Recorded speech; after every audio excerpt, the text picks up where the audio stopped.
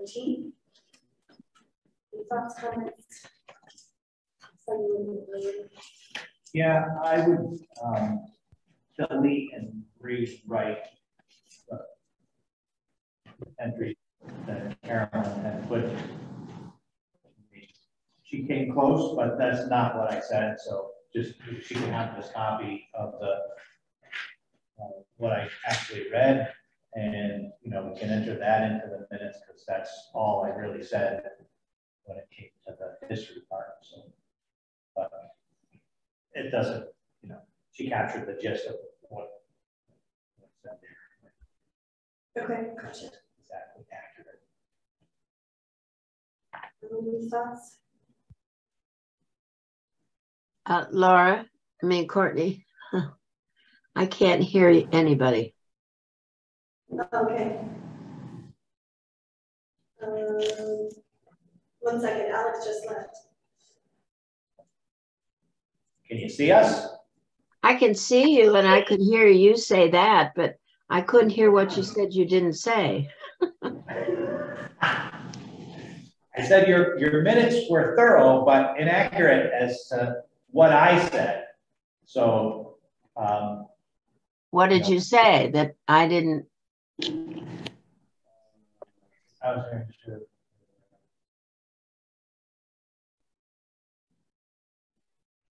Well, you were given a chance to fix that online and I, I, I, I read through it. I wasn't quite sure how, how we were going to fix it. So, oh, 2000, it's a 2000 study was conducted of the building which showed that the tower needs to be reinforced. And This is from November 14th. yeah. Okay. Yeah, it said that in, in the early 2000s, measures were taken to ensure that the building would be safe and usable. Electrical update, updates, uh, historic colors removed from the tower, and the tower was reinforced from below. And There's no, there's no specific date on that. I didn't get to Gary, to ask him exactly when that repair took place. I think it was in the nineties, so. I think it was past the year two thousand. which minutes was this? The, the, uh, the minutes from the, the, um, forum. From the what? Oh, from the From the forum? forum. Oh,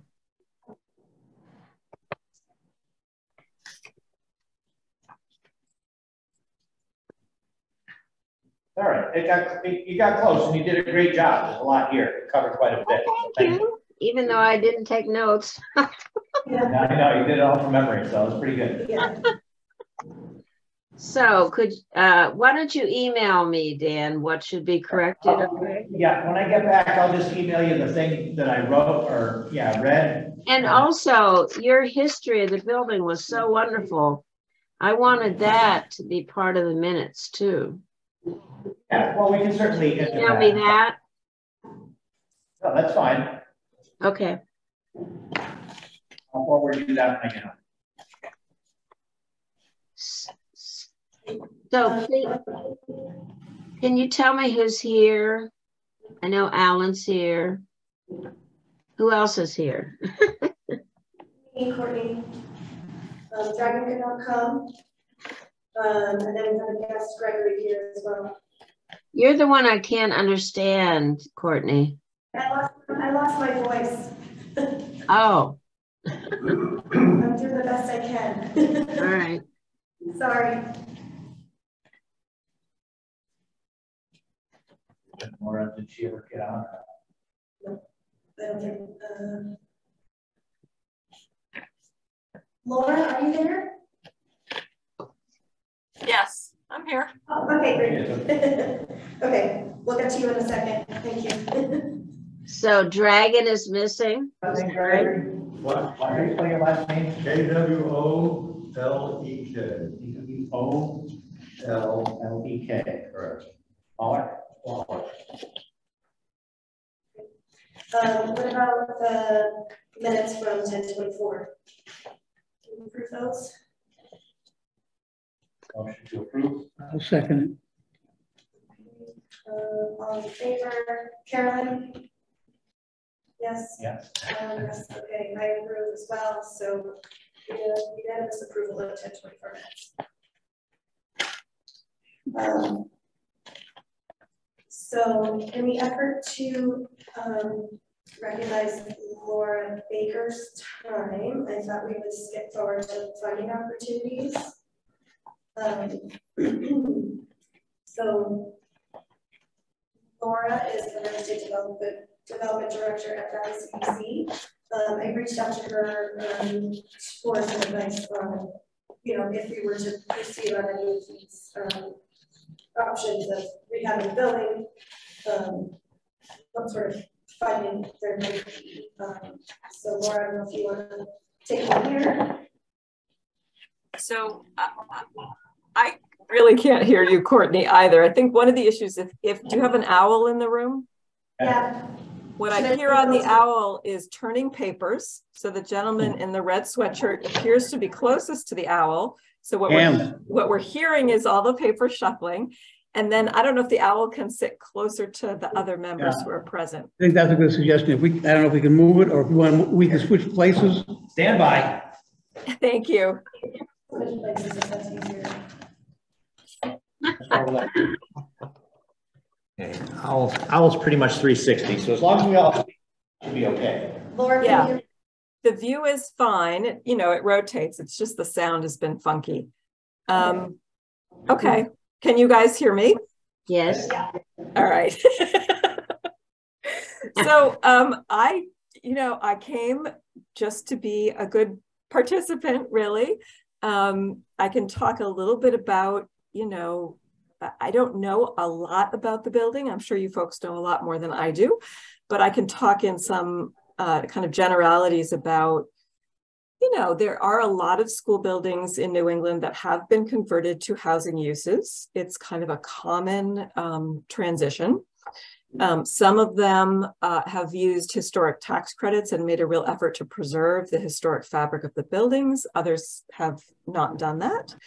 Um, uh, there are examples of both market rate, uh, con you know, condominium or apartment conversions uh, from schools. Uh, Courtney and I were just emailing about the Hatfield Center School, uh, which was recently converted, which I thought was kind of a good comparable to the Russell School in that it's a fairly small building, uh, an old historic building in a prominent location in the town that had very hefty capital needs, um, which I understand the Russell School does as well. Um, those, uh, that construction is completed and those uh, market rate condos are on the market now. Um, so assuming they sell, that's a successful reuse of uh, a very challenging old school building.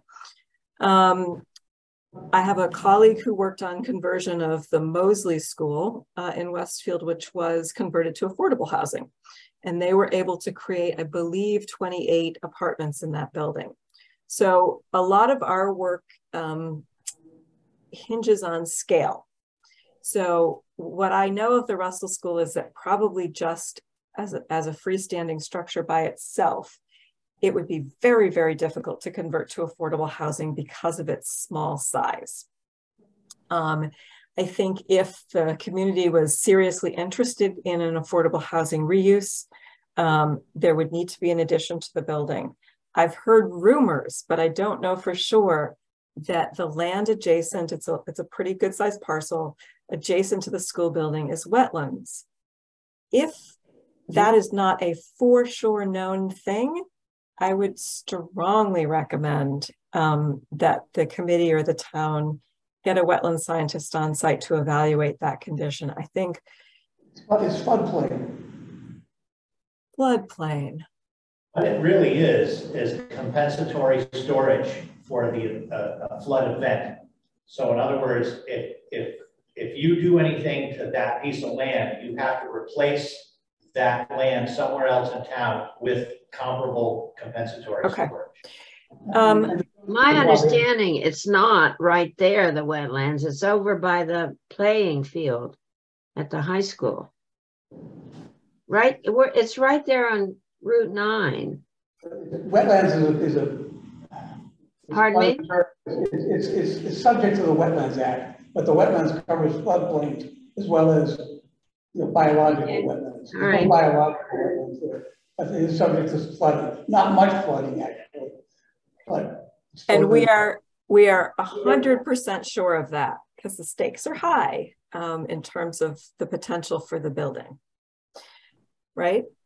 So we're really No, sure. not- No, you'd have to check the FEMA maps. And they Yeah. get updated now. I haven't looked at them for years. Well, if that's the case, then the high school is, the town meeting, the town hall is, the library is. Yeah, no, the, the, the high school is, the ball, the, the little field next to Russell is, Russell itself, I think. Alan, I can't hear you. Can you, can you move forward or something? I think, let, let let just kind of, just kind of sure, I think it would be beneficial to take another, take a look at town hall, the maps in town hall, the FEMA maps, and you can tell what they are. I'm pretty sure they're in the five hundred year flood. plan, Yeah, plain, that's- Maybe partly the hundred year flood. I don't think town hall is. Okay. So a lot of properties are in various flood zones and might require flood insurance. That's very different than being land that's used for flood storage area and is covered on the, under the Wetlands Protection Act. So we get into an area of expertise that's not mine. What I do know is I have had experience where we roll along for years making assumptions about where there are wetlands or where there aren't wetlands without getting a wetland scientist on site. And it it's a mistake because you want to be really sure. It's it's a driver in a building that this size that's going to cost this much to save and renovate. The ability to use the surrounding land on that parcel is a huge um, it's a huge issue um, for the usability of the property. So I just throw that out there. So for example, we are looking uh, right now at a school building. Easthampton has a request for proposals out right now. I just sent it to Courtney for three old elementary school buildings that they are determined. They've, they've done a lot of studies. They know they want to reuse them for affordable housing. In some of those cases, um, they're allowing people to demolish the buildings they don't encourage it, but they're allowing it or add on to the buildings, which becomes much more palatable when you're talking about an old kind of beloved structure in town. Um, so that is kind of, for me, a, a primary fork in the road, understanding, can you build, could you put an addition on that building? Could you put the land around it to other uses? Could, if you had a restaurant that came in and used it, could they put a parking lot there? Just understanding the potential of the whole site um, would be very important. When we look at affordable housing development, one of our main funding sources, it's called the Low Income Housing Tax Credit Program. The minimum number of apartments to access that program is 20. And I don't think the Russell School can hold 20 units as it stands today. So it makes it very difficult to reuse it in that way. Whereas the Hatfield Center School was converted to market rate condominiums, and I believe there's only six apartments in that school building. So the economics change quite a bit if you're trying to do affordable housing or market rate housing.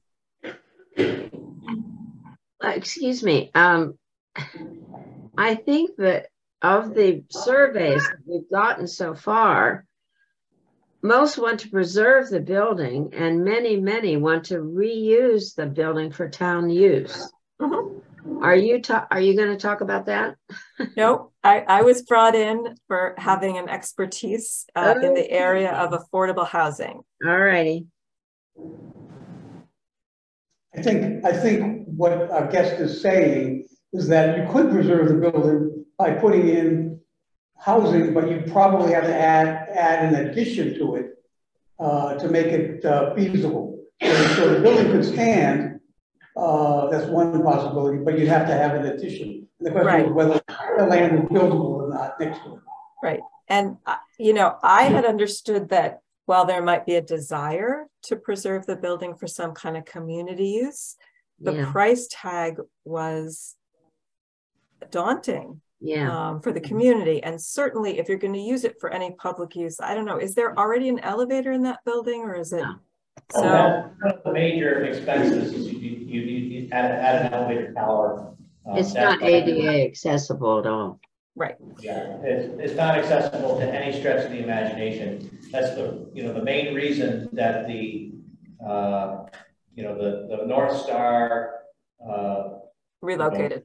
Yeah. yeah, well, we had to end that lease because of liability issues. There was- You couldn't even go, you couldn't even enter the building because the steps are out of code. And, you know, it's causing you a liability issue that's just not worth it. You would, you know, Right. lose the building in a lawsuit. It's, it's cheaper to take the stairs down and rebuild them and, you know, bring them up to code. That's the cheapest insurance. Right. I mean, the other use I've seen some communities make, and there have been a number of studies done. You, you're not the first ones who've looked at kind of an old white elephant building in their town. Um, so, uh, you know, historic museum uses sometimes are compatible. Sometimes they'll end up just using the ground floor for public and then the upper stories for storage. So they kind of try to get around that issue of having to install and maintain an elevator.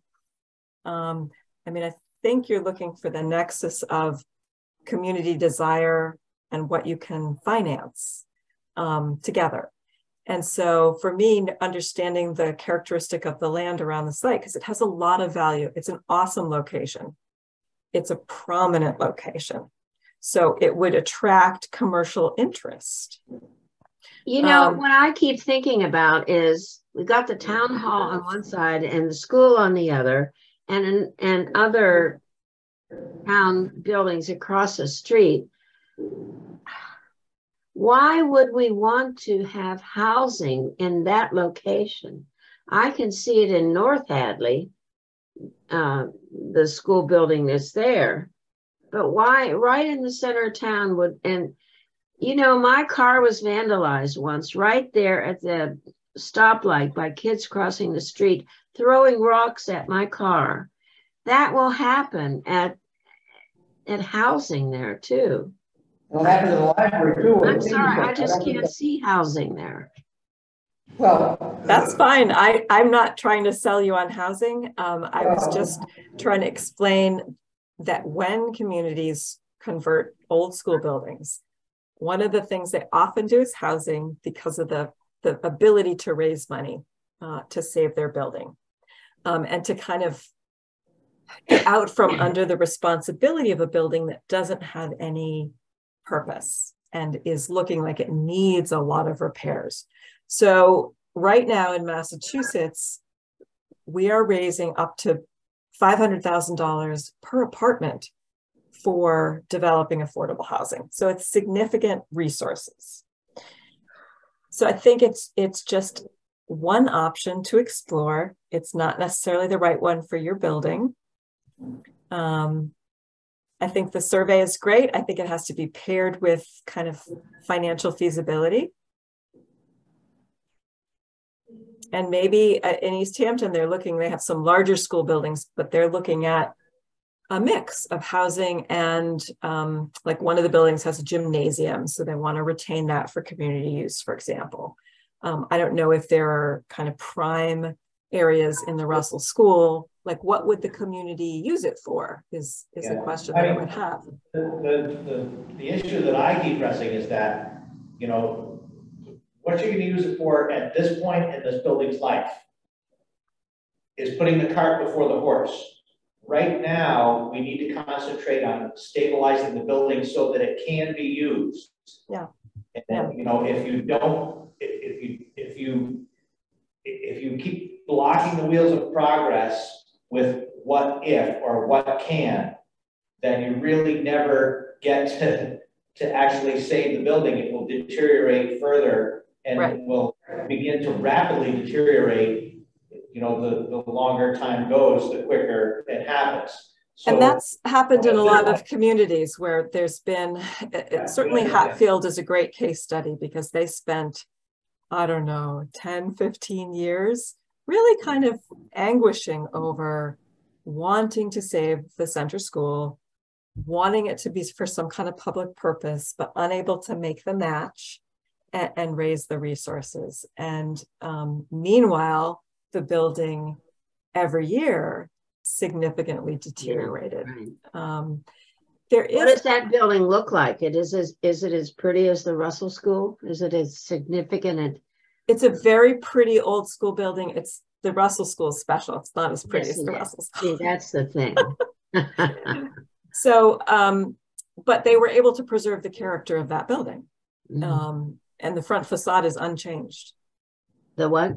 The front facade of that the building is unchanged. We So- talked about the center school. Yes. The center school in Hatfield. Yeah, okay. So I, I, I sent Courtney a link because right now they're marketing units in it and there's a lot of photographs you can just look at online of what the building looks like after this renovation was done, of what the units look like, of how much they're asking to sell them for. It's just a good comparable, you know, I think you don't need to reinvent the wheel. You can look at what other communities have done with their old buildings successfully and say, would we want to do that? Um, again, those. In in the case of, um, uh, the, the North Hadley Village Hall, uh, we were, we sold the building. Right, The town, the, the town had decided if we want to save it, we have to sell it. And, you know, with that, uh, the building was sold with historic preservation restrictions. sure. Yep. And that type of activity is all eligible for CPA funds. Yep. If, if the Russell School was sold to a developer to make housing. Yeah. They are eligible for those CPA funds. It's actually more eligible. So, Right, so they would most likely be applying for, you know, for CPA to get a bunch of the exterior work done. Yeah. Um, I told Ricky and Joe up in North Hadley Village Hall, I said, you know, I appreciate you bought this building, and I'm glad that you can save it. The town is lucky that you guys got it, and I know that you're gonna be wanting to approach the town for CPA funds. And I said, you know, try to hold off on applying for those funds, because we have the Russell School to deal with. Yeah, yeah. And if you apply for CPA funds for, to fix up the North Hadley Village Hall, I will vote for that. So I, you know, I, I, I won't take away from one building to give to another in town. They're all eligible for CPA funds. sure, And CPA has been used for a lot of things in this town that are marginally, just marginally acceptable uses for CPA money. Mm-hmm. And that's okay with me. I'm glad that the town is using the CPA the way it should be used.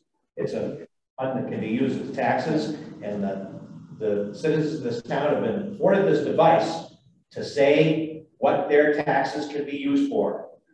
It's a critical tool in community preservation. Yeah. If I if I could, if I could understand what our guest from the Valley CDC is telling us, the key point here to me, we all know that there's many, many things that are possible. They may not be feasible, they may not work, all these things, museums, housing, all these things. We've, looked at all these examples, we know, I know, we have all the reports from Center School. But but we're asking CDC as a nonprofit um, enabler of affordable housing. What I'm hearing is that put, put market rate housing apart, uh, aside, that's a, that's a completely different thing. You could do market rate housing in a small building, like they're doing in the Center School. But for affordable housing subsidized by various grants, what I'm hearing is you need at least twenty units. Yeah. Is that, was I that right? yes. And If you- And if you need twenty units, Russell can't accommodate twenty units without an addition. Major addition. Yeah. Major That, that's a takeaway for me. For the, from, Yeah, from. and I would put affordable housing in that, you know, in this, you know, affordable housing in the center of town here somewhere, that's fine. Yeah. You know, if we're to redevelop the dilapidated, the data barns over there on, on Railroad Street and make it affordable housing, that's fine with me. I live in this neighborhood, I don't care.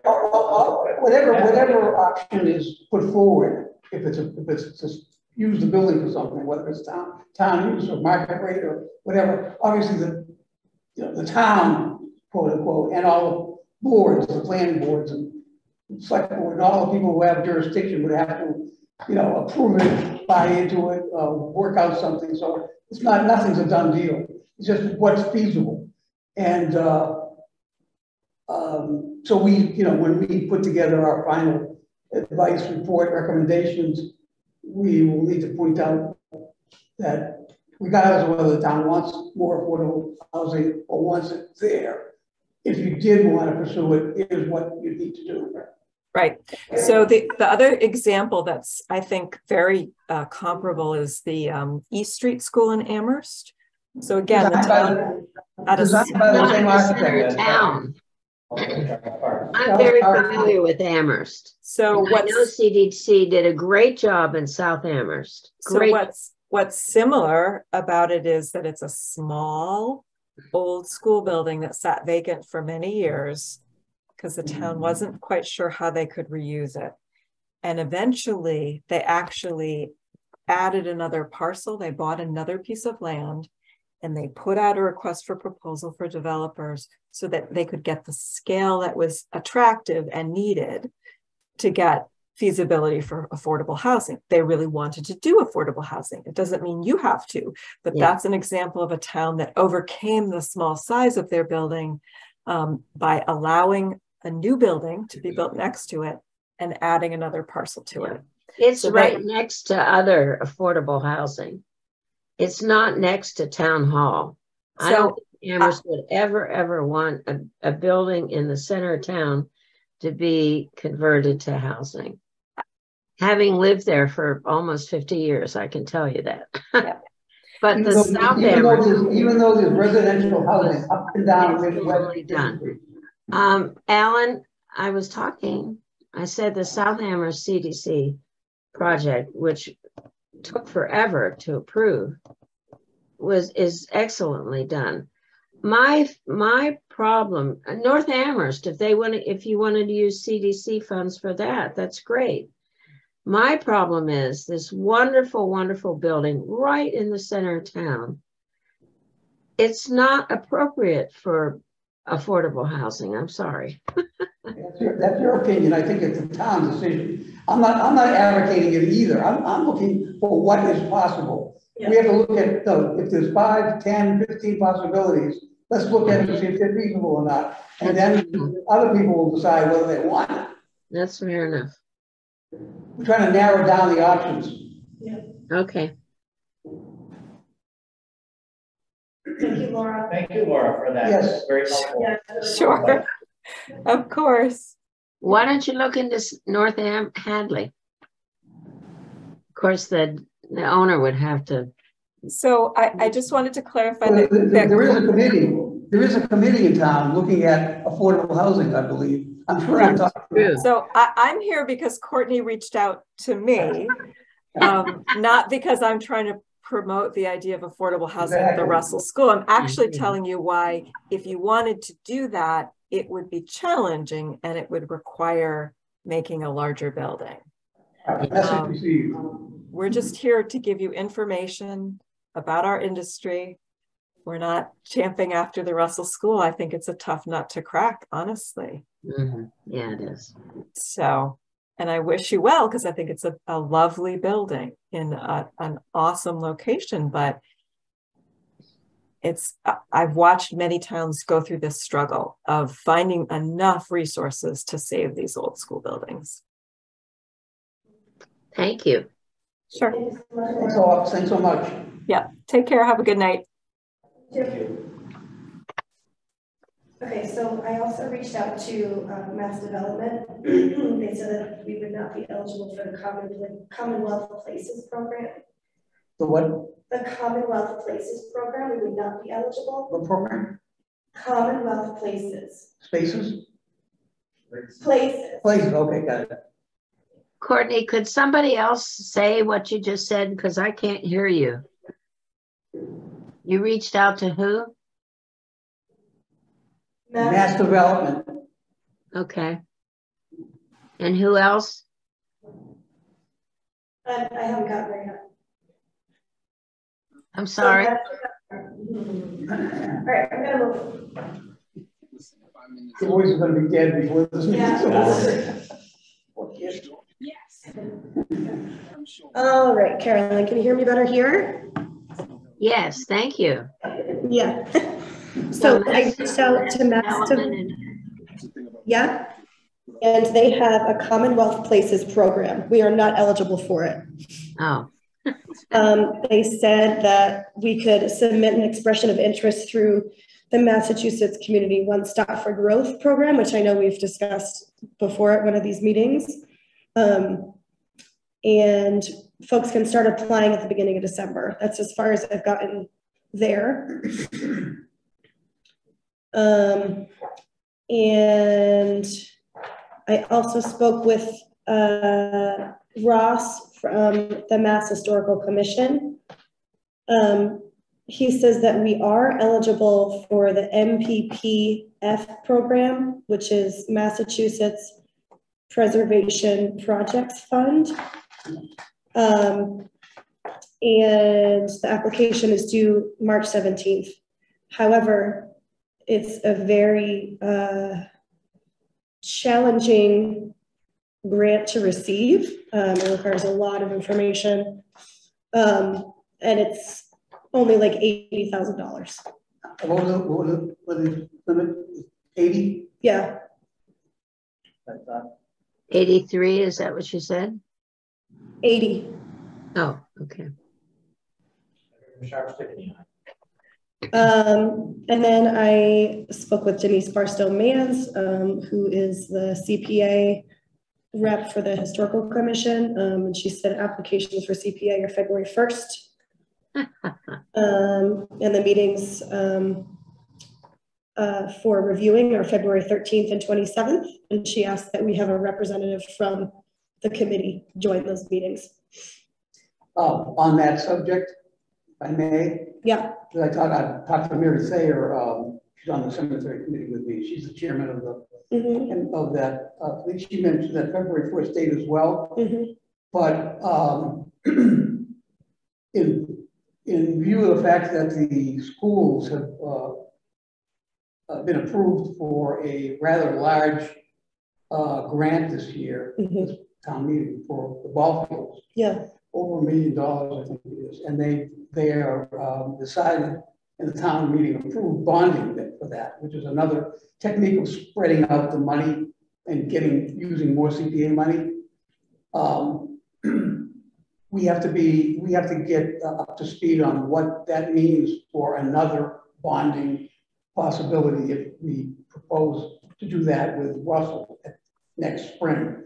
So we need to talk to Mary okay, she needs to give us a, um, give us the, um, you know, give us what the rules of the road are and what the limitations might be for doing another bonding uh, simultaneously with the school CPA bond. We also probably need to talk to Linda, Linda Sanderson, who's the uh, town treasurer, because she is the one who processes and uh, knows all about bonding and what it means. okay, So at some point before we get serious about putting together a CPA package for, for Springtown meeting involving stabilization, I presume, um, we need to get educated on what the cons- possible constraints might be on using, uh, CPA money via bonding. Alan, who, who is this Mary? What's her name? Mary what? Mary Thayer. Oh, Mary, oh, I- T-A-Y-E-R, you know her. yeah, Um, So I think we should either invite her to a meeting, and we gotta do this before we get it too deep into February. January, mhm. or, or just have somebody go talk to her. and bring Yeah. back, bring back information. Well, of course, Uh, our, our package is different than school. We're in historical. Um, so But from, from. your point of view- question is about going out to debt. It's not a question of whether it's historic or open space, it's a question of how much money can CPA bond in a given period of time? Okay, or can they give? I mean, they, they have a lot of money, they're, they're sitting on a lot of money, but it's a finite amount. And, uh, Yeah, I'll talk to Mary if you'd like.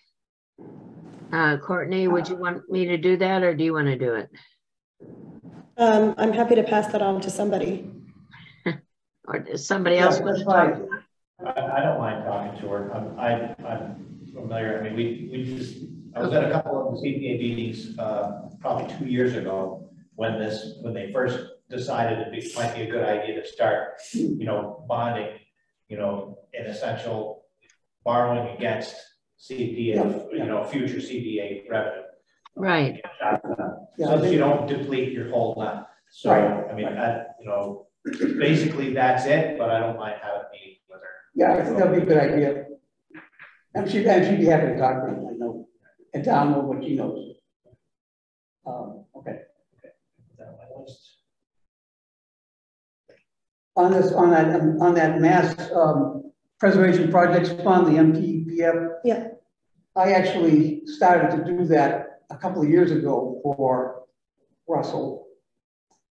Uh, and I have the application package and it is daunting, to Yeah. say the least, uh, for, for the amount of money, but I would still do it if we do proceed with CPA, because, uh, actually they require CPA match, or, Mhm. or not match, but, Reimbursement. yeah, that's, they have, they want you to apply for CPA as well as that.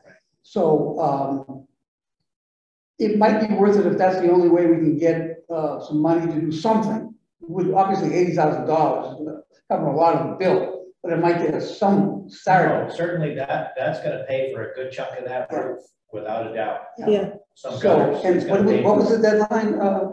Uh, March seventeenth. So the timing is good. You know, when I brought this up before about requiring, I was shot down like crazy by you guys. It's, they don't always require a match. And Well, and what I was gonna the one that suggest- shot me down on that. Well, I was gonna, I don't remember shooting down, Carol. In fact, I was I gonna do. suggest tonight, I was gonna suggest tonight, since you mentioned that you are a good grant writer, that you could take a crack at that MPPF, uh, Yeah. thing for us. Yeah, the- I mean, the person I spoke with there said that we need to match what they give. Who'd you speak to? Whether they match or not, we might want to apply for the money anyway. Yeah, if they're. Yeah, I if they're think so. 80, That's hundred and sixty.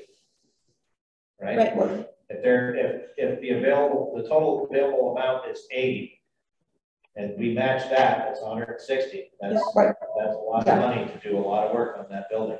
Yeah, and I, I'm, you know, we may not be able to get the one point two to two million dollars for the, all the stabilization things, but we could get but I something. would, I, actually, I don't think I'd ask the town to, to do all the stabilization at once. You know, it's gonna take a lot of, of cooperation and coordination between different contractors, Right, and it's gonna take a lot of money. And if you spend all your money in one day, um. Well, that- and, and that kind of, that kind of goes into another suggestion I, I have is, is that we, is that some of us sit down and go through our laundry list of stabilization items, which we already have, five or six things, Mhm.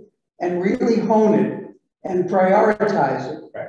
And say, okay, this is the first thing we should do, this is the second thing we should do. Let's, let's, um, you know, bring the numbers up, refine them as much as we can.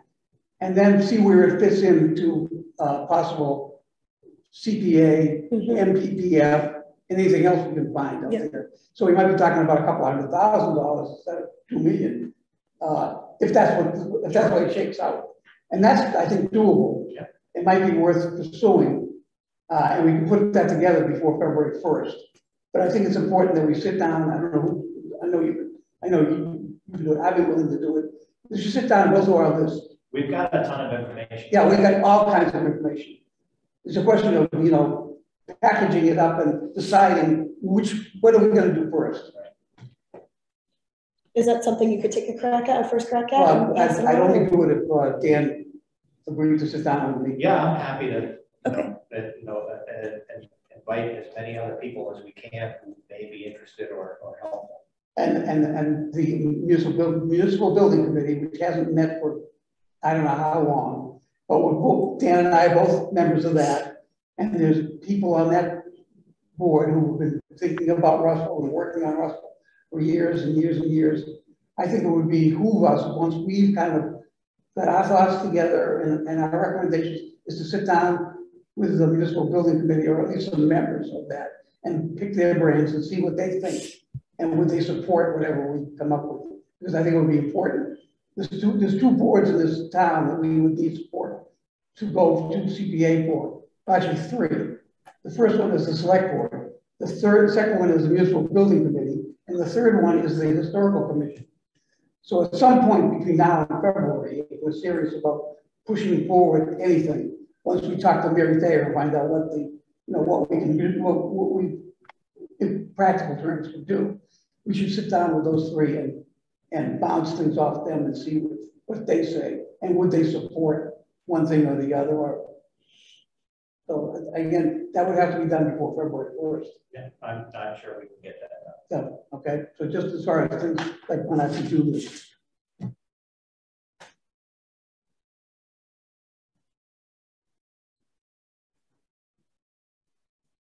Next. Does, does that sound like a plan? Yeah, that sounds great. So I Dan, love it. Dan and I will work on the, on the, on the stabilization list. Yeah, love it. Uh, Carolyn's gonna work on the grant, Uh, is that, did did Carolyn agree to that? I, I couldn't hear a word you were going on about. Uh, I don't know what you're talking about.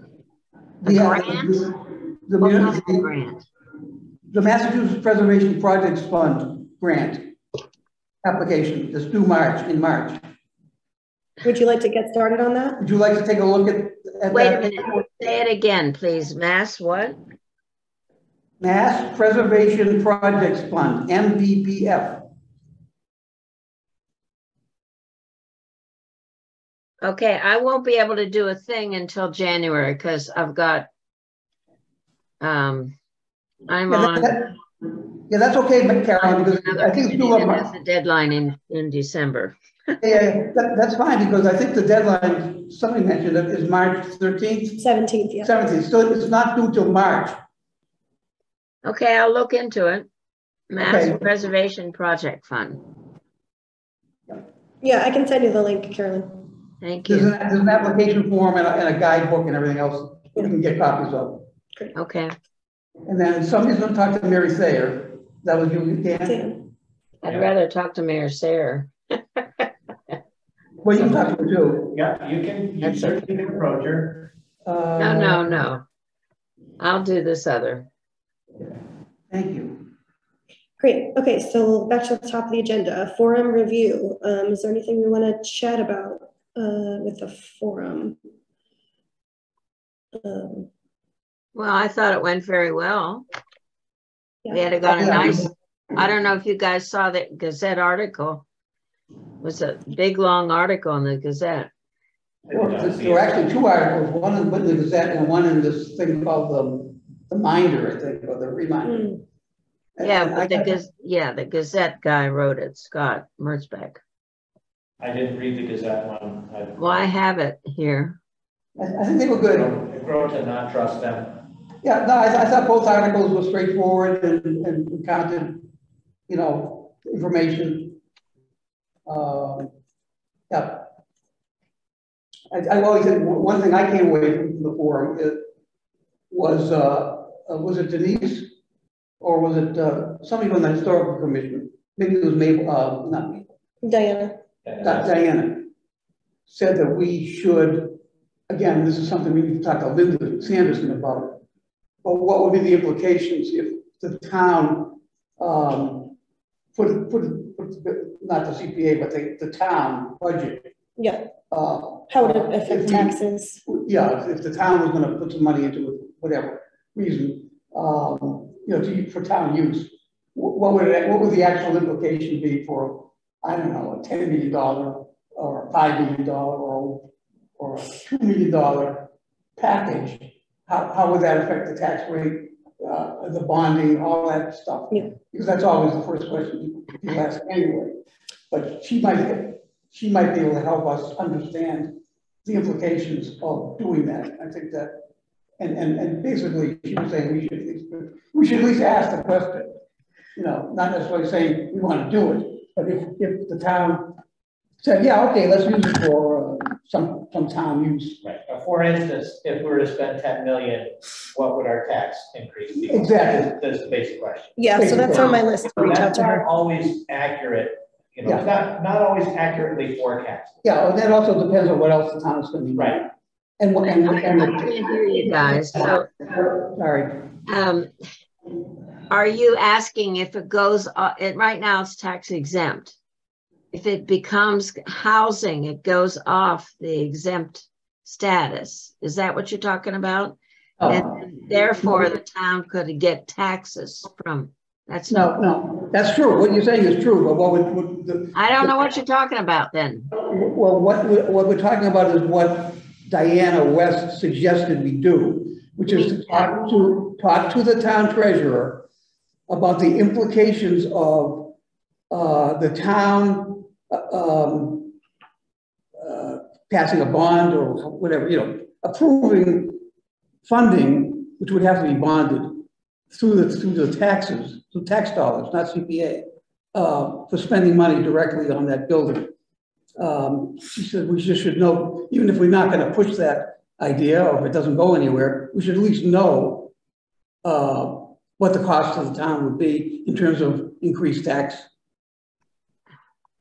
Okay, you keep saying bond, but Well, that's how the town raises money. they go out for borrowing. Borrowing, exactly, borrowing is another, borrowing is, is a better term. an interest rate. So how much would that be? It's right now, the borrowing rate is around seven percent, even for municipal stuff. Yeah, exactly, it's not attractive. So, um, it, what Denise was wanting to know was, well, you'd have to go through a town meeting for this, and I don't, Of course, but before you go to town meeting, you get your ducks lined up. And one of the ducks is lined up is how much would it be? And you, and you get that information from the town treasurer. yeah, That's all she's saying. She wasn't saying we should do it. Um, it's just that if we're exploring various funding possibilities, I think Yeah. we're, we're trying to concentrate on, you know, money that could come into the town versus the town spending it. But we should also look at what would it be if the town spent the money, okay, or borrow the money, borrow the money. okay. Got it. Any, anything else on the forum? Yeah, this, uh, no, that's the one, sorry. Sorry. Okay. Anything else anybody else wants to say? Well, Alan, you went and talked to that guy that, He's sitting he's sitting right here. Uh, Mr. Kwalik, right? Do I have your last name? I want to say Kwalik. Quality, Okay, sorry. I know Greg. correct. Yeah. what, what did he say? We chatted about the problem that they had in Southampton where I think you were a selectman or? Yes, yes. Yeah, do you want to explain yourself? I mean, that was, I don't want What's, ma'am, what's your question?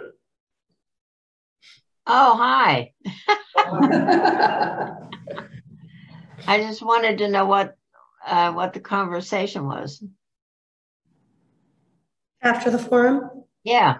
mhm. Well, I think, I thanked them for coming and we had a pleasant It conversation. was, it it wasn't a- an interrogation, you know, it was just, uh, cause like, uh, I've gone through this in Southampton. And we were successful, but, uh, we saved the, the building and remodeled the inside. It's, it's a very small, it's a much smaller s- structure than this, so it wasn't that difficult. And it's, oh, it is a lot more modern than this building. Oh, It it was a, I think it was a Grange Hall. No, the Grange Hall, that, that was another case of how do we reuse the building?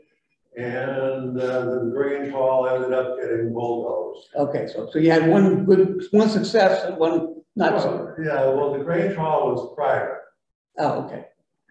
And they could not, uh, you know, this is, being a private building, it was all up to them. Mhm. And they could not successfully raise any money to do anything with it. So it just got, uh, What, what, what was the other building? the other building was, uh, previously known as the Larrabee School. Oh, And it was, uh, a, uh, grammar school.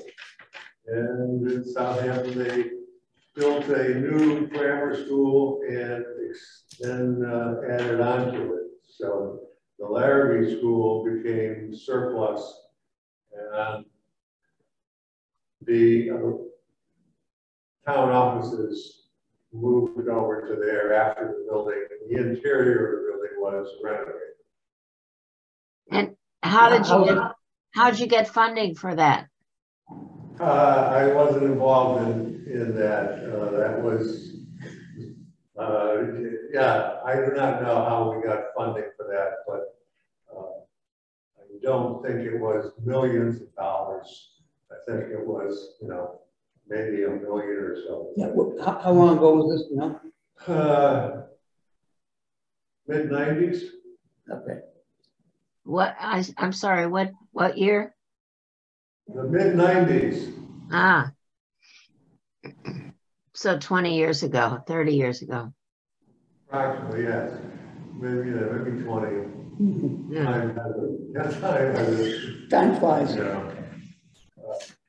Oh dear. I'm so glad. Was that, that, that project was successful Yes, and it, it was it, was it advantageous for the town at the time? Well- And it continues to be, or is it no longer? no, it's, well, we moved out of Southampton, obviously. Uh, It was something that had to happen because the old, I'll call the old town hall, where all the town offices were located.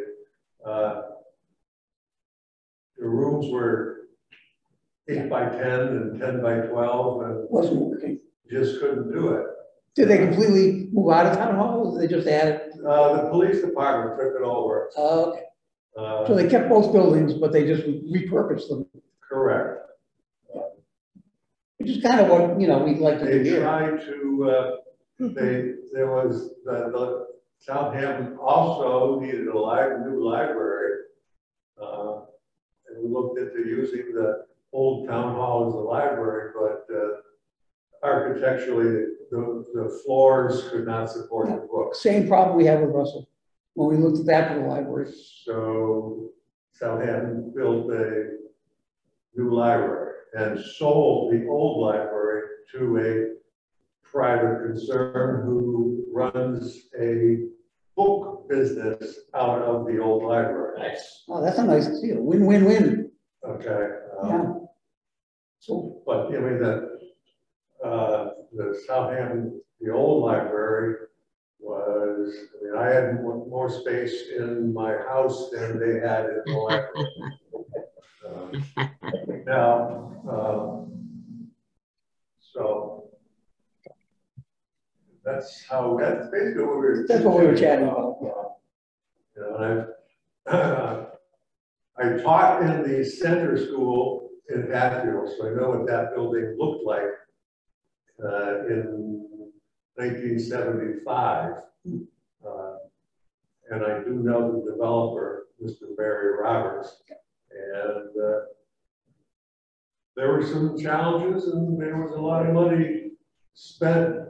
And that's one reason the market value for those condos is what it is. It's not, it's not easy to take a, you know, a classroom and turn it into condominiums because of, you know, um, Mhm. certain things. I also grew up in Easthampton, so I'm familiar with Maple School is one of the buildings I went through. I, I K through, K through six at Maple School. Uh, my wife taught at Center School, which is the second building, and I attended the, it used to be the old high school, it's called the Pepin that's School. yeah. And they are gonna face some really stiff challenges Yeah. in all three buildings, because they're, the old high school was built in the thirties with Bruce, uh, Franklin Roosevelt's CPA program. uh, Make work, Oh, the WPA, WPA, I'm sorry, WPA. yeah, Uh, Center School, Center School, Maple School go back to the turn of the century. mhm. Uh, But they were your typical schools, square buildings, square rooms, hallway, yeah, and and that's it. that's, That was, you know, basically what we chatted about last, uh, after last meeting at the forum. Thank you. Um, okay, so upcoming deadlines, we talked about CPA and some of the other funding, um, opportunities. Um, town meeting tends to be mid-April, right? Uh, May, I Mid-May? I don't think they said a date, but it'll probably. Yeah, I didn't, I couldn't find a date either. Are there any other deadlines that we need to keep Yeah, in we gotta think mind? of the survey deadline. The survey deadline? Yeah, the survey deadline is January fifth, okay? Correct. But I, I would Right, What recommend deadline? What? What deadline? survey, Survey. Oh, I thought you said Surrey. I'm sorry, uh, um, Okay, I think what we should do is, uh, reach out to Allison, who's our consultant, consultant, Yeah. helper on that. And, uh, see what she thinks about starting to enter the paper ones. We have about twenty of them, I think. Mhm. Uh, it'd be nice if we get those in. Uh, she may want to wait till after the fifth, but if she can start doing it now, that would be lovely. Uh, because I've been carrying around a bunch of them and I don't know if anybody else has got some. And I know there's a couple more floating around, but we should get them in a package and get them to her. Uh, as soon as she can, willing to take them, Mhm. because I'm gonna lose them if I keep carrying them around. Okay. Um, and, uh, it to her, see. I'd like to, you know, so I'd like to get that. I could, actually, uh, Alice is on the library board with me, so I could ask her. if you want, Okay, Unless you feel like doing it. Okay. No, go I'll- I'll ask her. Um, and then, uh, we want, you know, we're gonna find out from her, because I don't know how the Survey Monkey works, what kind of, how they, how they slice and dice the results. I mean, we know, generally speaking, Mhm. what it's starting to look like. Yeah. But I, you know, for instance, uh, are we gonna be able to tell, uh, break out the resident, the people who just residents and what their responses were, yeah, or not? right. Okay, well, did we have any non-residents? Now, about uh, fifteen percent, I think. Really? As of the Uh, current count. Not I a didn't know of any. Well, that's because you haven't seen all the, all the surveys. I thought there was one or two. No, we're talking about five hundred and eight uh, to, to date. How many are non-residents? Yeah, so eleven percent are former Hadley residents. Um, seven percent are Hadley residents but work in town. And three point seven five percent, um, don't have an affiliation, work, or they don't live or work residents. here. The three percent. Mhm. Yeah, so that's not, that's not, that's not a huge amount. No, It's not a huge amount, but it'd be interesting to see if, if that group has a different, generally speaking, Yeah. a di- different, um, level of support for the different options. Yeah. That- But but Alice is gonna do that for us when she, I, I hope, or the Survey Monkey itself will do it. Uh, and we should find out exactly what we're gonna get for, for- for a report from them.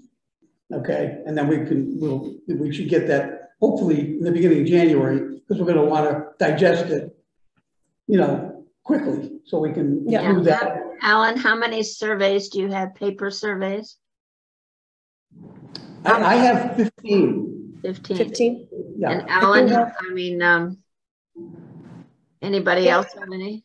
Dan has two. Yeah, there's a couple still over at the senior center and in the library and maybe town halls. I, I'm guess, I'm predicting we'll have around twenty to thirty paper No, surveys. won't, But, yeah, okay, so paper surveys, all right.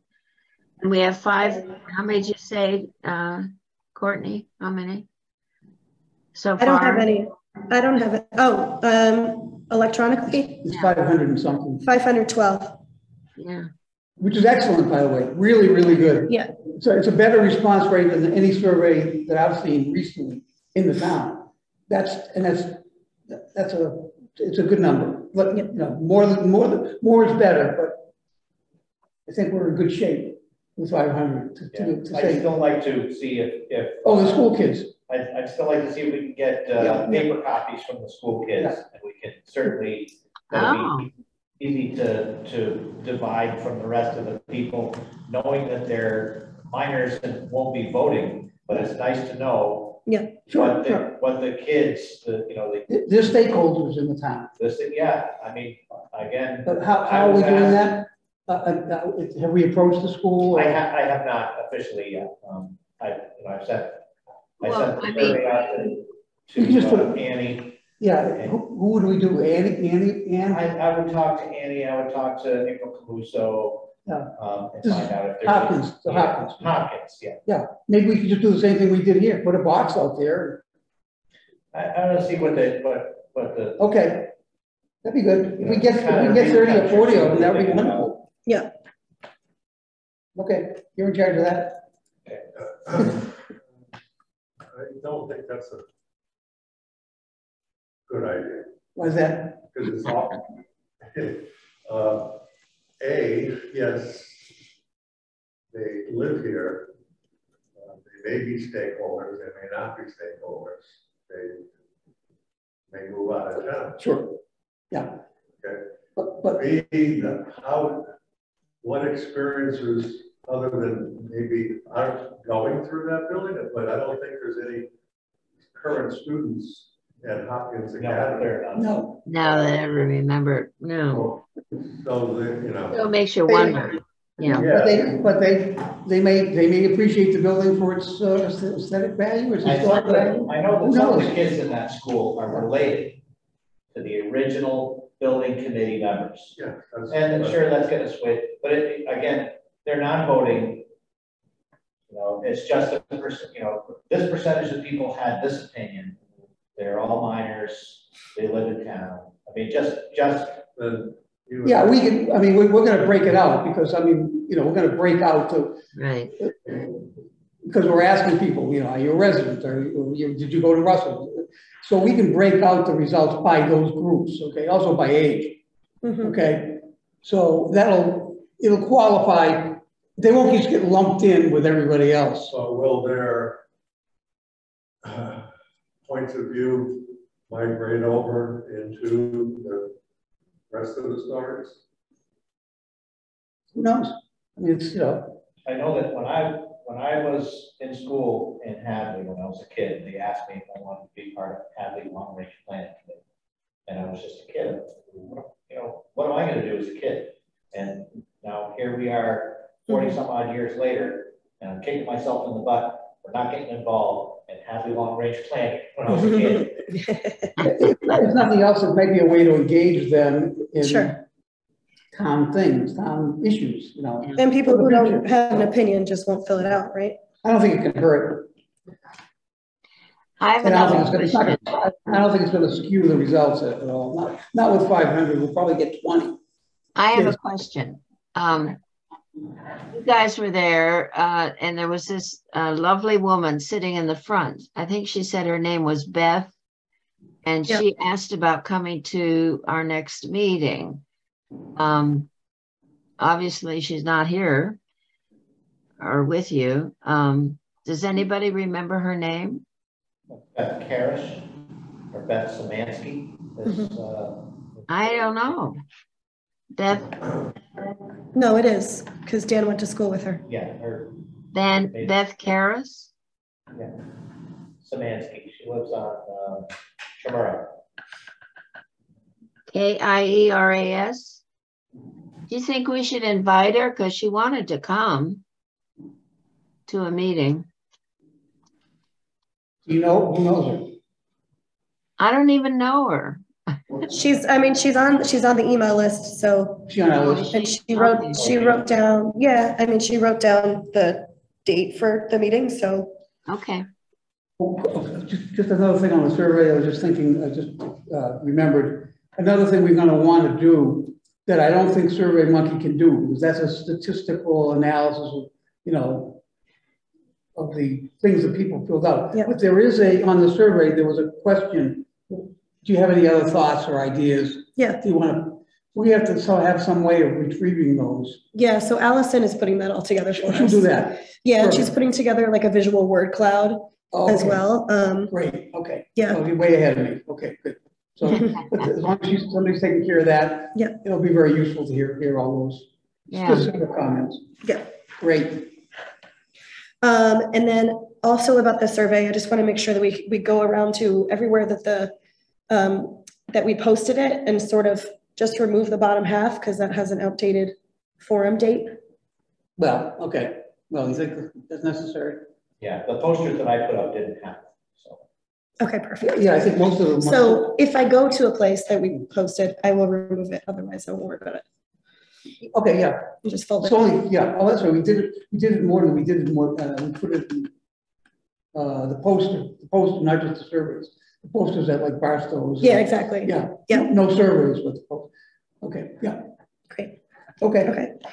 Um, okay, historical commission, the Hadley Historical Commission video, so before this Russell School Committee was created, um, the Historical Commission was planning on putting together some sort of a video, um, interviewing people who attended or who grew up here, um, to, um, sort of preserve the, um, the history of the building. Um, so we, as the historical commissioners, going to continue with that, and Alex is on track to help us create a video. Um, so it's separate from us, but we of course will, you know, bring it back to to this table here to um, to review, um, and then it'll also be beneficial for us if we're eventually looking for funding. We can use that Yeah, video.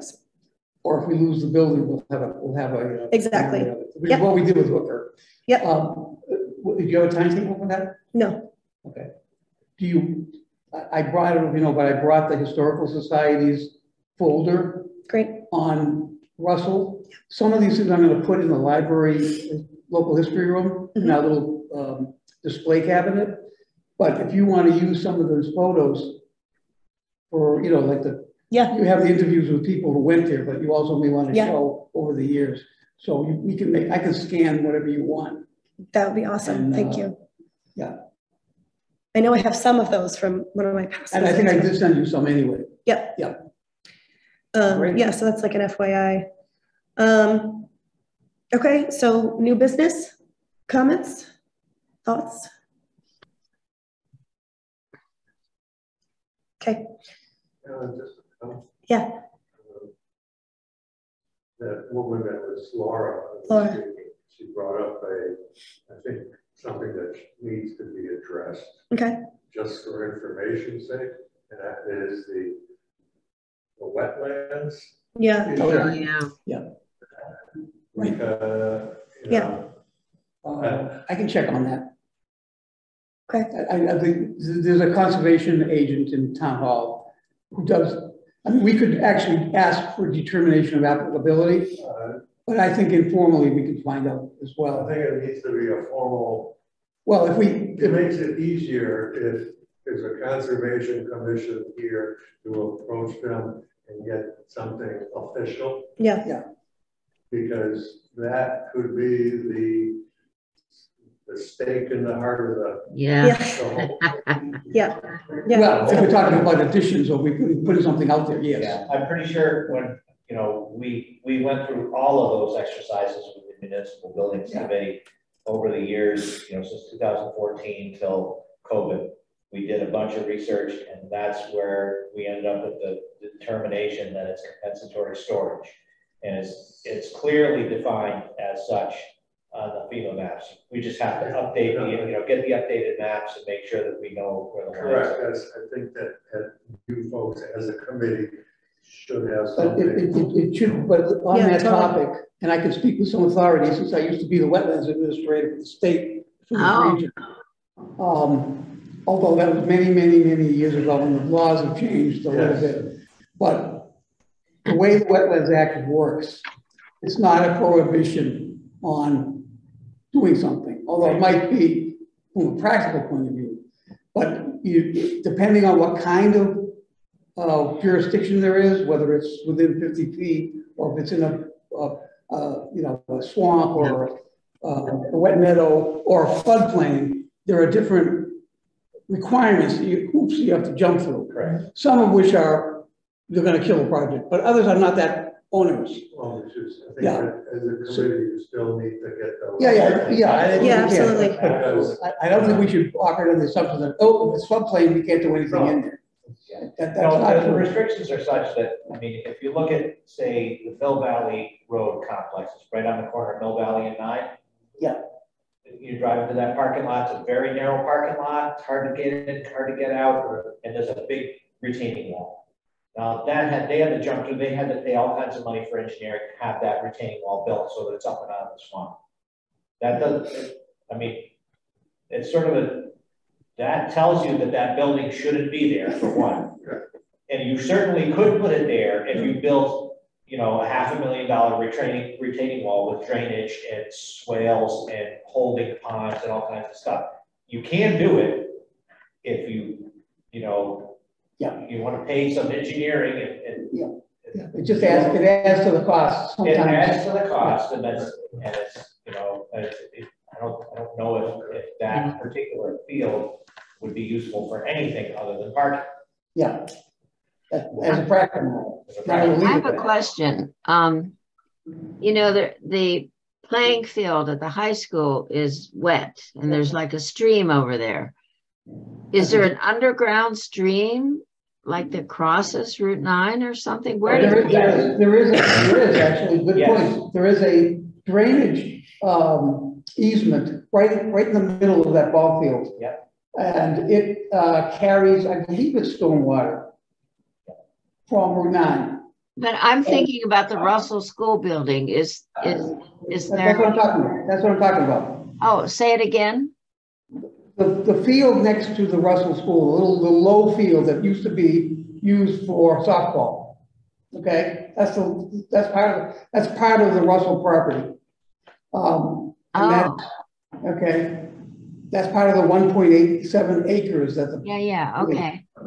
and, uh, in, in- under the ground, there's a storm drain and an easement. So you couldn't, for instance, you could not, um, you couldn't mess with that. You couldn't dig it up and, re- and remove it. Um, you could put, put a parking lot over it. Yeah, you could do that, but, yeah, you wouldn't want to, you wouldn't want to be digging a foundation unless you had to move it.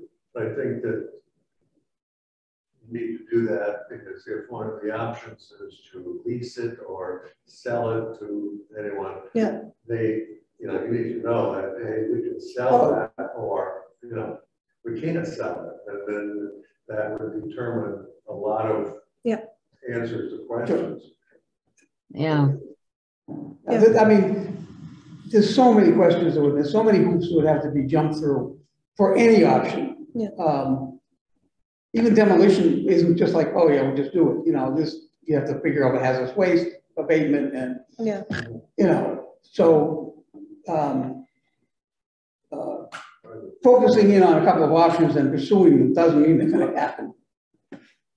But even if it's compens, compens, compensatory flood storage, whatever you decide to do with the, it, the building, who, you know, you gotta be upfront saying, hey, Right. Oh, sure, yeah, you know. yeah, well, yeah, full disclosure, Full Yeah. dis- yes, Yeah. full disclosure Yeah. to whoever is interested in whatever one of the five options or whatever. Yep. Comes into play.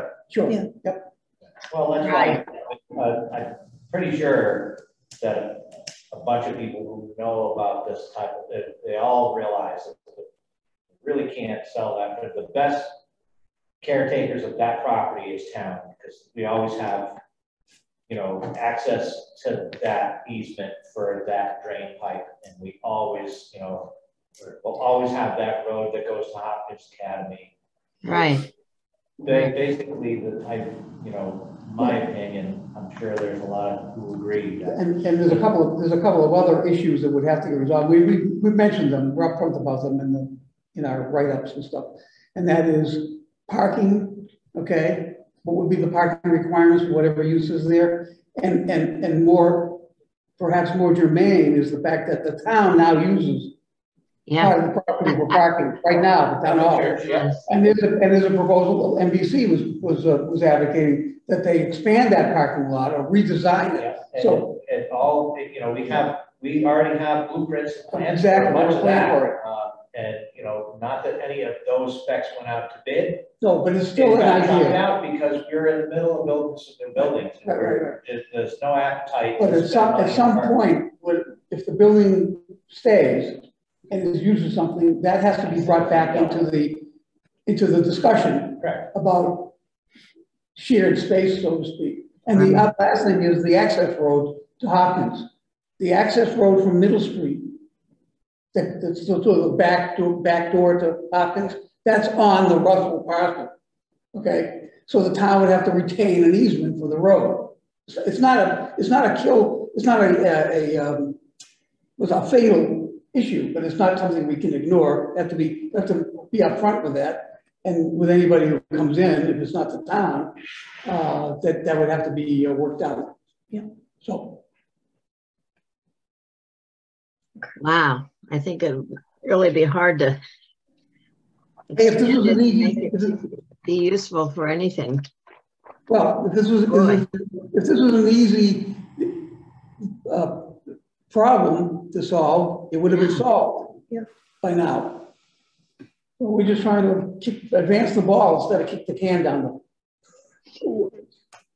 Um, any other comments or new business to discuss? Now, it's, except that I really would like uh, the historical, what Dan said at, at the uh, forum. Dan, you had notes on that, right? Yeah, I've got a whole thing, I'll just email Can you. you send it so that it can be part of the record? Okay. I Okay, will, I will. Okay. Okay, so next, next meeting, um, so two weeks out is the twelfth, which I cannot do. Um, so I'm hoping we could do the nineteenth instead, What was that? December nineteenth for the next meeting. Oh, I think, I think we should wait till after. Okay, holiday. Well, huh?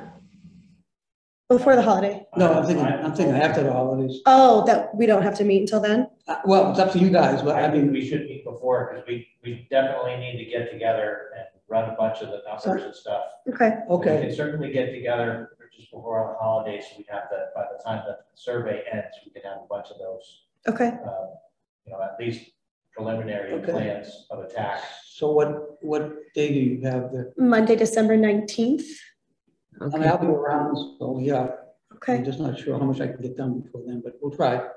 okay, Yeah, we'll get something done. We'll have, we'll have some conversations with like Mary and those people. Yeah. Yeah. Yeah, we can bring that back. okay, great. Yeah, yeah. Maybe we, perhaps we could all be on Zoom.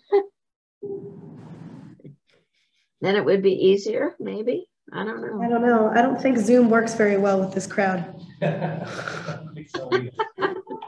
So we- We all interrupt one another.